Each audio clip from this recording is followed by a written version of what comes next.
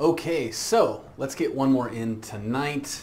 Uh, I'm jumping around. I haven't solved all the problems yet. Thought this one was kind of fun. I thought I would get to it uh, and try it out. The numbers in order of each row and the numbers in order of each column. This is the 10A problem 21, 2024 and the 12A problem 14. Uh, in order of each column of a 5 by 5 array of integers form an arithmetic progression of length 5. Interesting note, why is it arithmetic when we say it this way, but arithmetic when we're talking about the subject matter?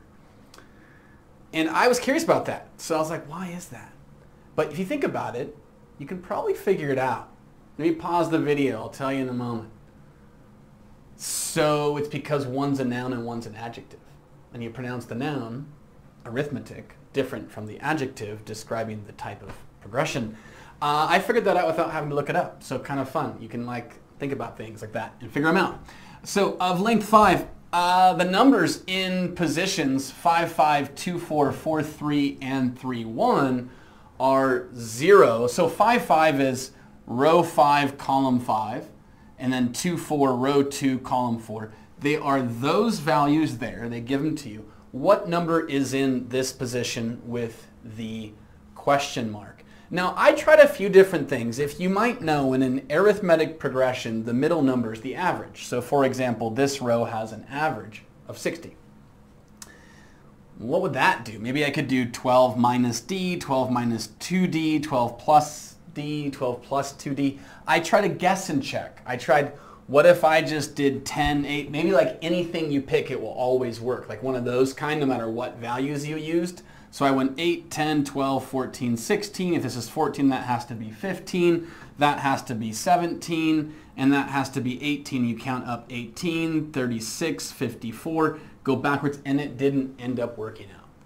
So you might have tried that, and there's nothing wrong with that. There are a lot of problems where no matter what values are used, it will always be able to generate the same value somehow. We might not know the exact mechanism at play. Uh, could not figure out how to capitalize on the 12 being the average. 16 is also the average of its row, so you would know this sum was 80. Maybe there is a something you can do with that. Uh, 80 going this way and that. Maybe you can find some way to play around with that on your own. I couldn't figure out what to do with it exactly, so I decided I was going to label something somewhere a value. And I just decided to go from the row 12 to build out this way. It's just the way I did it. Is there other ways that you could do it? Sure. I'm sure there is. Um, I'm going to call this 12 plus D. And this will be, I'm sorry, not 2D, just D. I'm thinking about the next term already.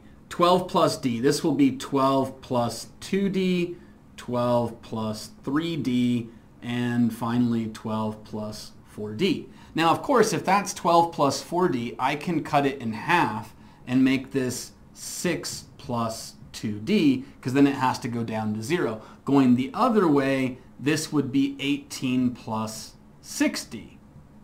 Okay, then what? What about 16? See, this number right here uh, and 16 have to have an average of 12 plus 2D. So why don't we go ahead and work that way? We'll call it y for a second. 16 plus y over 2 uh, needs to equal 12 plus 2d. Multiply by 2, 24 plus 4d equals 16 plus y. y then, that unknown value, is going to be 8 plus 4d. So this right here is 8 plus 4d. Now again, this and this have to average to 48 that means they have to sum to 96. So if you have 8 plus 18, which is 26 plus 10d, it equals 96. Again, this plus this over 2 equals 48. Multiplying by that 2 to the other side, all in one step. Subtract 26, 10d is now 70, and we found a value for d. So it's at that point when you know, when I found what D was, that I just went ahead and started filling this in with numbers. Uh, we knew that this was 19. I'll just kind of write it over here. You have 12, 19, 26, and then adding 733 and adding 740. Um, the 16 would be underneath right here, making, you're counting by 10 obviously. So this is 36, that's 46, 33 going to 48 right above it. Uh, you're gaining 15, you could go up 63. When you go up 63 and you subtract down to 46, you're subtracting 17. And so subtracting 17 again will put you at 29.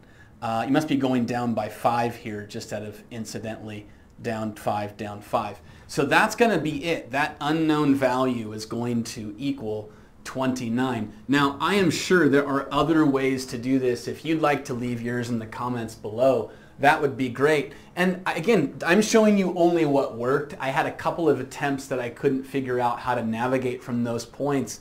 And there's probably, there's probably a lot of ways to do it, if we're honest. This was really a very unorthodox type question where it wasn't really like you always do such and such. It wasn't so much pattern based other than the commonality of what an arithmetic progression's properties look like, which was interesting. We had geometric progressions, we had arithmetic progressions.